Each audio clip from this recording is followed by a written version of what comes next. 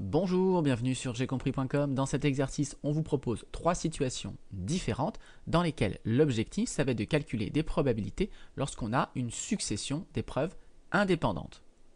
Comme d'habitude, dans un premier temps, je vous laisse faire pause, chercher bien l'exercice et on se retrouve juste après pour la correction. Allez, on corrige une première idée importante en proba. Lorsqu'on a une succession d'épreuves, eh bien, il faut penser à faire un arbre. Par exemple, dans la première situation, on vous dit on lance 2 dés. Alors évidemment, si on lance les 2 dés en même temps ou si on les lance l'un après l'autre, ça ne change pas grand-chose à l'expérience. Donc j'ai bien une succession ici d'épreuves. Avec mon premier dé, que peut-il se passer? Eh bien le premier dé, soit il fait 6, soit il ne fait pas 6. Je vais appeler S1 l'événement faire 6 avec le premier dé, et donc je peux également ne pas faire 6 avec le premier dé, et donc c'est l'événement contraire, noté S1 barre. Mes dés étant bien équilibrés, j'ai donc une chance sur 6 de faire 6, donc une proba de 1 sixième, et donc 5 chances sur 6, une proba de 5 sixième de ne pas faire 6. Il va se passer la même chose avec le deuxième dé. Et donc je peux ainsi prolonger mon arbre. J'aurai toujours une chance sur 6 de faire 6 avec le deuxième dé, et donc 5 chances sur 6 de ne pas faire 6 avec le deuxième dé.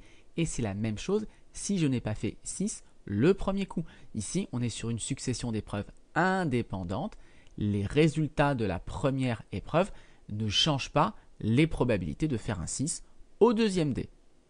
Une fois qu'on a fait l'arbre, il suffit ensuite de se rappeler de la règle du produit. Hein. la proba de passer par un chemin, c'est égal au produit des probas qui sont sur les branches. Ici, je m'intéresse à l'événement faire double 6. Donc ça correspond au chemin qui passe par S1 puis par S2. Et donc la proba de passer par S1 et par S2, ben, c'est tout simplement 1 sixième fois 1 sixième. Donc c'est ce que j'ai rédigé ici. Faire double 6, c'est faire 6 avec le premier dé et avec le deuxième dé. Donc ça se note S1 inter S2. Ça correspond cet événement à ce chemin dans mon arbre. Et donc pour avoir sa proba, je multiplie les probas qui sont sur les branches. Et ça me donne donc 1 sur 36.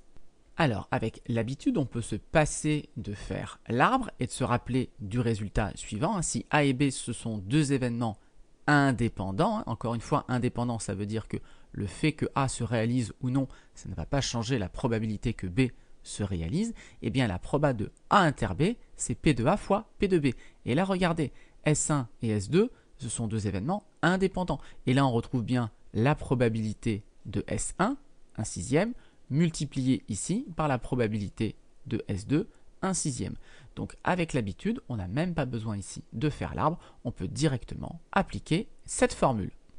Alors notez que cette formule, elle peut s'appliquer avec plus que deux événements. Par exemple, dans la situation numéro 2, on lance cette fois-ci 3 fois de suite une pièce de monnaie et on se demande quelle est la proba de faire que des faces.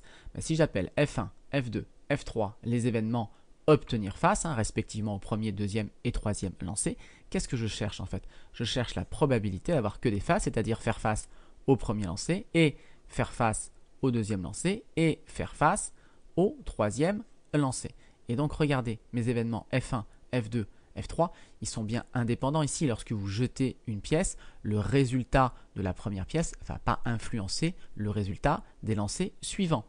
Du coup, on peut écrire que la proba de F1 inter F2 inter F3, c'est la proba de F1 multiplié par la proba de F2 multiplié par la proba de F3. On va supposer la pièce bien équilibrée, donc on a une chance sur deux à chaque fois, une proba de 1,5, et donc on obtient 1,5 fois 1,5 fois 1,5, c'est-à-dire 1 huitième. Alors, deux petites remarques avant de passer à la question 3. Lorsque vous utilisez cette formule, précisez bien que vos événements sont indépendants, sinon la formule, hein, elle est fausse. Et puis, deuxième chose, on pouvait très bien ici sur cette question de faire un arbre, alors il était un petit peu plus gros, la première pièce, soit elle fait face, soit elle ne fait pas face, c'est la même chose à chaque fois, je n'ai pas représenté l'arbre en entier, mais vous voyez que la proba de ne faire que des faces, c'est la proba de passer par le chemin du haut, hein. je fais face, puis face, puis encore face, et on retrouve bien, grâce à la règle du produit, 1 demi fois 1 demi fois 1 demi. Allez, on passe à la troisième situation. On lance cette fois-ci d'abord la pièce, puis le dé, et on s'intéresse à l'événement faire pile, j'ai appelé ça grand A comme événement, et un nombre supérieur ou égal à 3 avec le D. J'ai appelé ça grand B comme événement. Donc moi je cherche ici dans la question 3 la proba d'avoir A et B, hein, donc la proba d'avoir A inter B. Encore une fois ici, les événements A et B sont indépendants. Hein. Le lancer de pièces n'influence pas votre lancer de D ensuite. Donc P de A inter B, et eh bien tout de suite je peux écrire que c'est P de A fois P de B. Il ne nous reste plus qu'à calculer donc P de A et P de B. P de A, j'ai une chance sur deux de faire pile. Et puis P de B, c'est un numéro supérieur ou égal à 3.